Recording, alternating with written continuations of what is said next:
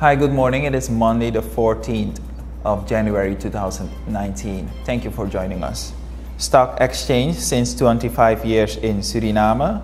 Exchange rates should be kept stable. Society can contribute to the care of zoo animals, and the 8 December trial is politically motivated. The stock exchange has been organized for 25 years. It started as an initiative of the insurance company Assuria that had a purpose to stimulate the trading of stocks.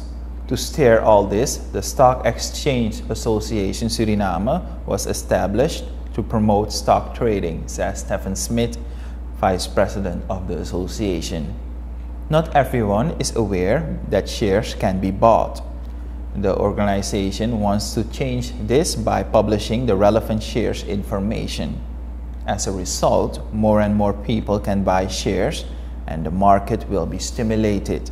According to legislation, there should be a company that can steer the stock market. However, this is not yet the case.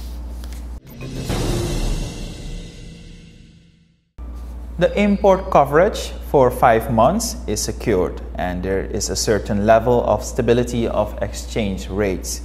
With this, President Desiree Bouterse answered questions last week on how to keep the exchange rates manageable.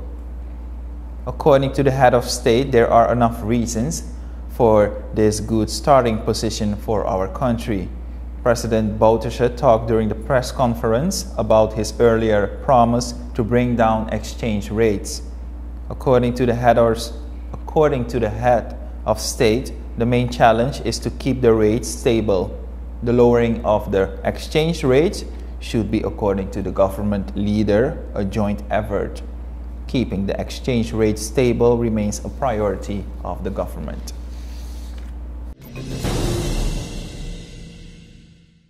Society can contribute to the feeding and care of animals in the Paramaribo Zoo through an adoption plan which is introduced last year. Since the introduction, some animals have already been adopted by parts of our community, says John Altenberg, the director of the zoo. Years ago, schools could also participate in the adoption programs. Money was collected weekly, which was intended for the zoo. But this, is no, this project is no longer being carried out. The director has big plans with the zoo for the year 2019. Among other things, the expansion of the site and the construction of the large bird cages are being addressed. And at last, the December 8 trial always had a political agenda to adjudge Desi Bouterse, so says President Desiree Bouterse last Monday.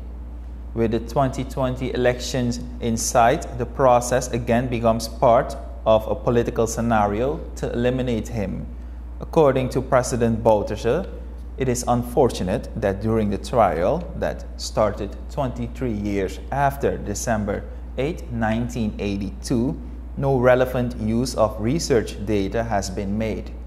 According to the President, he ordered as the political responsible person during that time an investigation by the judicial authorities about what happened that evening of December the 8, 1982.